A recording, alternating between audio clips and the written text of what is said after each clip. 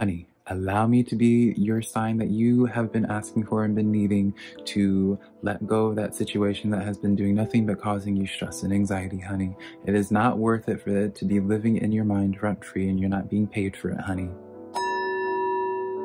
Hey girl. Hello my beautiful Aries, how are you doing? My name is Simply Velca and today I'm going to be doing your weekly tarot reading Aries.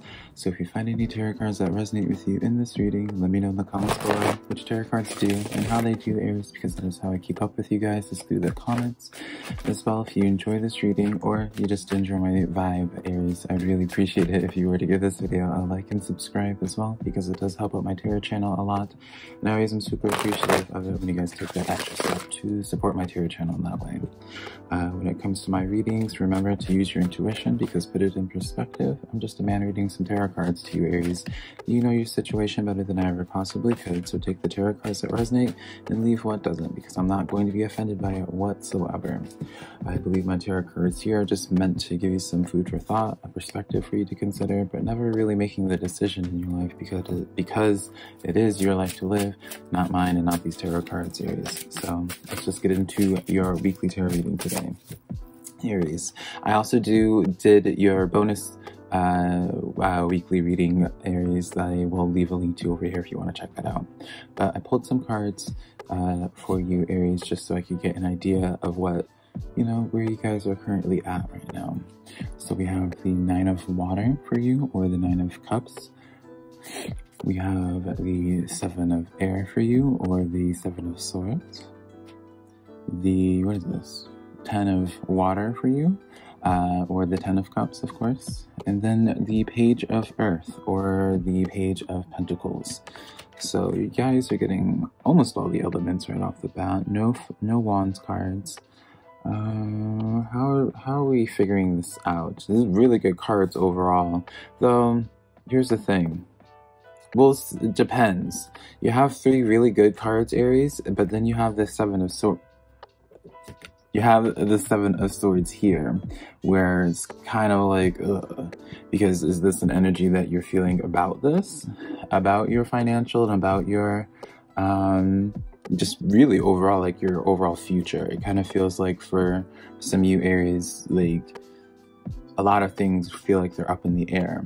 It's almost as if like you're looking in the mirror and you kind of see you kind of are questioning as if like something that you worked so hard on is it going to be coming crashing down or something that you have really wanted really like i keep on talking about what you really want because this nine of water uh, being that wish fulfillment card and with this ten of water here that's that home life. Page of pentacles this is yeah dealing with financials.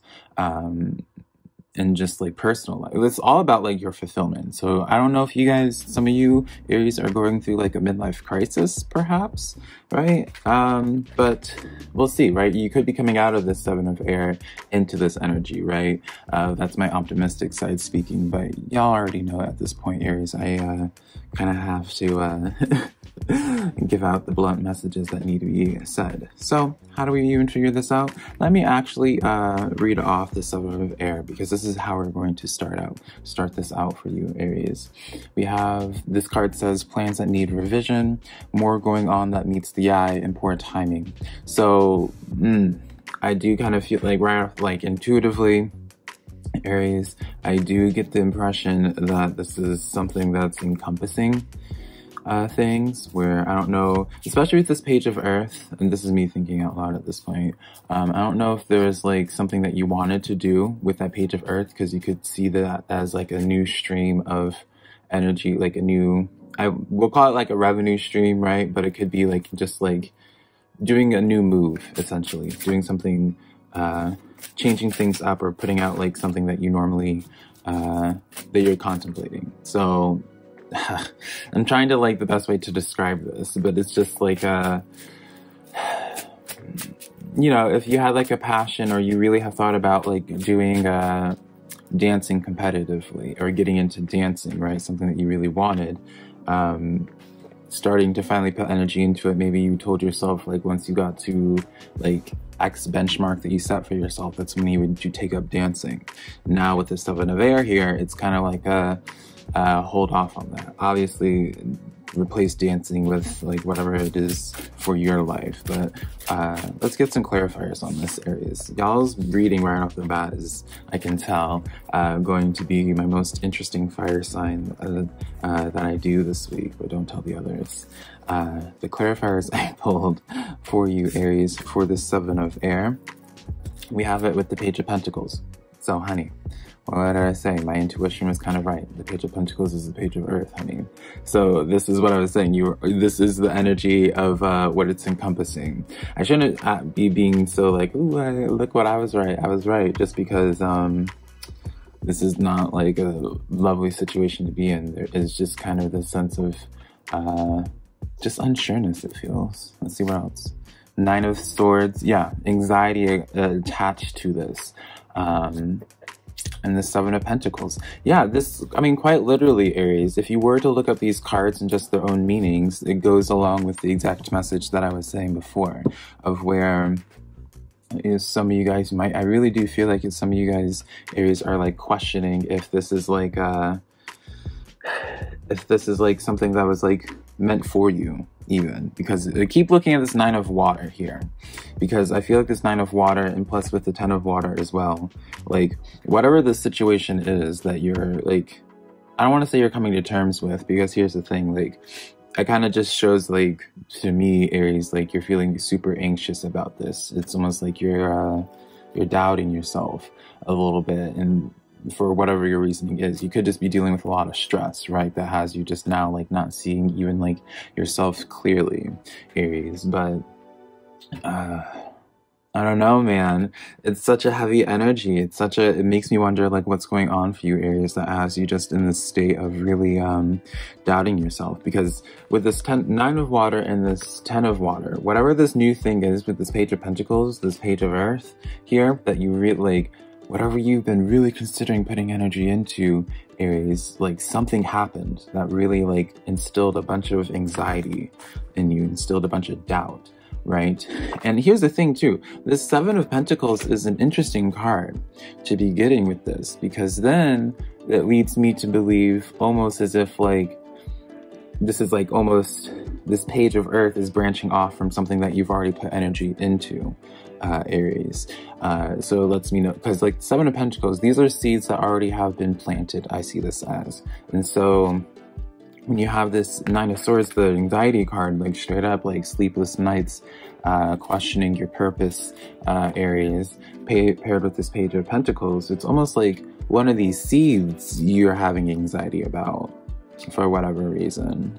So it's just like a thing that I'm noticing, but man, heavy, heavy, heavy. So, um, whew. so now I guess we can get into this nine of water for you, uh, Aries. This is the card of your wishes coming true, concerns fading away, and the love life. So it does encompass either or, whether it's an opportunity or whether it's um, a person. Honestly, give me a moment, Aries, because I don't even know if we need to continue too much further into these messages. Because I feel like those clarifiers kind of like covered a lot, don't you think? Because I'll read off the Ten of Water for you as well, since I kept on referencing it. The Ten of Water is talking about that um, family life, a contented and rewarding family life. Your emotional needs are met and material needs, and trustworthy relationships. So, yeah, this is all just dealing with like where I'm seeing in Aries right now, just having some anxiety currently about one of their seeds that they've planted. And seemingly, I don't know if this is like a seed that like um, just you put like a bunch of your eggs into this basket or something, Aries, because it's like I'm seeing this as like hardcore, like an Aries going through some type of crisis of some sort, mentally just trying to uh, take this all in. So it's just like, uh, what's going on here, Aries? So we kind of identify that, what it is that you're going through. Pretty heavy stuff, don't you think? So now uh, I do kind of want to see how this is going to like play out and see where the direction of things are going. That is, we'll say Aries, because nothing is set in stone when it comes to the future. But you know, we can tap in to see like what you know if we if things continue the way that they are, right? Uh, what is this going to look like for you, for my beautiful Aries? I feel like pulling four cards for you, Aries. I normally only ever do um, three whenever I do extra cards. Uh, but I feel like I, I, don't know. I feel like number four is just as the right number for you. Even I would, I might even go as far to say Aries that uh, kind of want you to uh, write down the number four for numerology this week and see how that correlates. I have a fairly good idea what it means, but I don't want to. Uh, not like refrain not just look it up honey i you'll get a lot more detail so anyways the cards that we have of how this situation is what it's looking like we have the six of cups for you the six of wands is good six of wands the knight of wands. There's all this wands energy. There's that passion honey. And seven of wands. All wands honey. You know i started at the reading first identified this reading where it's just like oh there's no wands here. Know, I didn't really like go too much detail into it because normally it doesn't matter, but it's like I just noticed there's just no passion. honey. It almost has felt like your current situation right now is you feel as if like your light or your flame is just like dying and it's just like flickering on, on its like last leg. If you if flames have legs. And so now you know we pulled some cards about where is this direction this energy this situation going. Um, once we identified what was causing your flame to be small right to the point where you weren't able to even see your flame uh, now we get all your flames right we get all these wand cards all the passion cards and notice you didn't get any of the heavy cards, uh, wand cards either. You didn't get the Ten of Wands, you didn't get the Five of Wands, right? You got the really passionate, like, you got the victory cards, right? Um, so how are we going to break this down? When you have the Six of Cups here, this is something, you know, we're, I'm going to, I'll tell you the meaning of it, Aries, first, and I'll tell you intuitively kind of where I feel like this is all correlated.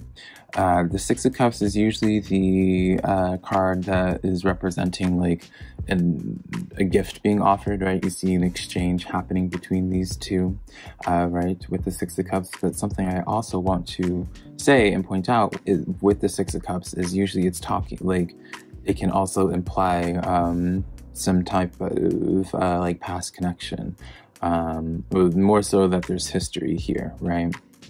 So like this could be like a sense of like romanticizing how things used to be with somebody or stuff like that. More so, it just in, uh, signifies as like a something that you have history with, right?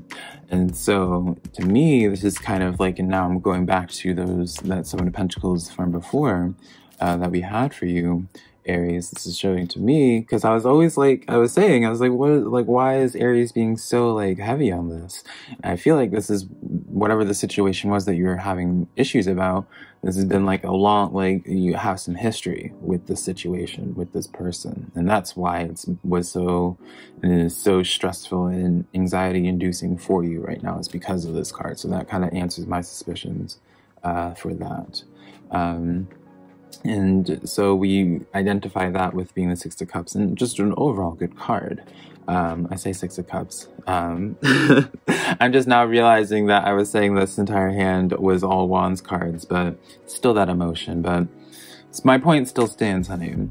Uh, then we have the Six of Wands for you. So this is the card of victory, public recognition. This is a, an extremely good card to have in any reading, but perfect for for you what you would want to hear, uh, Aries, because it's showing to me victory in like um, almost like a, uh, things like coinciding and working out, right? At the very sense, in uh, in in a way that we could put it, is where it's like you get closure with the situation, so you no longer have anxiety over it. Victory on your side, right? But what does that victory on your side at least look like, right? Because just because you get that closure and victory on your side of things, that doesn't mean the other side, if there is an other side to be had, um, it's the same thing, right? you know, just being real, not keeping it as completely optimistic. Um, the but the Seven of Wands here uh, really refines the message and confirming that it's just like a card of I see this as like um, coming together and like working together as a group. Um, because this is the card where it's like all eyes are um, kind of notice with both the Six of Wands and the, because the Six of Wands is like public recognition, like light being shined on something, right? And the Seven of Wands is kind of like a card of like all eyes being on you, Aries. So I kind of get the sense here that whatever it is, I kind of see this as like a, if we're going to just make up a scenario to relay the messages for this, it's almost like uh, situation with the person that you've had a long-term uh, situation with, right? You things come to light, a conversation is had, uh, and then after that conversation, uh, that inspires you to like going forward. Um, you know, if in terms of like a passion project, you know, like going and working together on some type of project, right? Because then you have the Knight of Wands where it's all forward movement. You're, and that's the thing I want to point out as well is, is like all wands represent that forward movement and you got all of them attached with your Six of Cups, of course. Um, which is just like an overall, no matter which way you twist and turn it and what have you, it's a positive card. All these cards, the no matter which way you look at it, whether it's an optimistic way or like even like the most like strict way you want to look at it, Aries, all your cards are very um, positive, like a pretty extremely positive outlook. So um, that's exciting to think about, don't you think, Aries? Uh, so I like that. I like that. But do we want to even consider that the blessings that are coming in your way that are in the works? I kind of don't, Aries. I feel like that situation, that's its own thing. That's kind of like you are kind of just like coming up at the end of a, um, long term, like a long cycle, especially with that Six of Cups. It lets me know some probably like some type of a long cycle, some type of obstacle that you've just been going through. I don't really consider that one of the blessings that are in the works for you anyways, at least personally. So let's just pull some tarot cards now to uh, see uh, what blessings are actually in the works for you, Aries. This has been such a pleasant reading though. Um, it started out really heavy, but I'm pretty positive about how things are going. So let's look at this.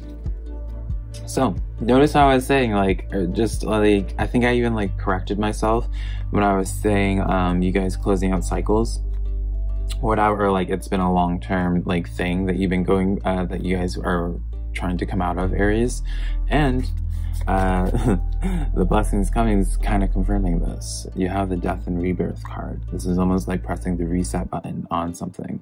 Either like the reset button on something where you're just completing something. You kind of, uh, you know, if you're going to view this as like a, uh, as like a board game, you completed like some type of objective that you've been needing to um, go through. So whatever that situation is um, that you came to get that closure with, right? It really unlocks like forward progression for you in like a very big way. Not just progression in the sense of being like, you know, something that is just like measurable, but just progression in the sense of where it's just like now that you completed this aspect over here, everything else that starts coming forward to you just comes at a much more accelerated rate, um, but also just comes a lot easier for you because there's a lot less resistance going on now in Aries. With this Three of Wands here, you are finally identifying like I know it's me saying like you identifying your calling. I feel like this might be a little bit dramatic to say, but it's almost like now Aries, you figured out your flow of how you want to take your steps going forward.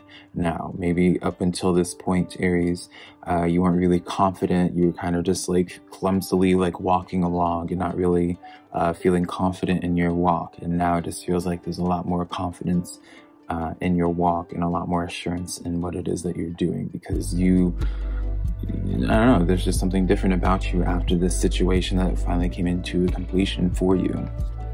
Aries and Two of Cups, right? No matter which way you want to turn this, Aries, like again, you, you, keep getting positive cards. You keep getting these cards, you know, if there's like a situation in terms of like a person, right? There's a card of reconciliation. You guys are like holding hands, right? This could be a card of comes with love, right? This is just uh, whatever way you want to put this, love, opportunity, whatever your story ends beautifully, right? You know, for my Aries that are not new to my channel, channel, I always will say like your story gets so much better and your reading quite confirms this Aries. Right now, you may be at this place of being extremely anxious, extremely in your head and just not really sure where to go and how about how to do, how to go about doing things and just not really overall just overall doubting yourself. But as you go through this experience, what it is that you're going through is I see it working out very beautifully for you. So I know easier said for me, for me to say, is just like stop feeling anxious about something when I'm not the one going through it. But, um, just know I, from what I'm seeing, what it is that you're going through, through some, just through some tarot cards, honey, you guys are doing pretty good. But, uh, yeah, Aries, that's the cards that I have for you for this week. If you enjoyed this tarot reading, be sure to let me know in the comments below which cards resonated and how. Uh, and I do all the zodiac sign reading, weekly readings for all the zodiac signs rather, Aries. So if you have a friend that's into tarot, or even if they're not, send them their zodiac sign video and maybe they'll find a tarot message that resonates with them. Until next time though, Aries, I love you so much.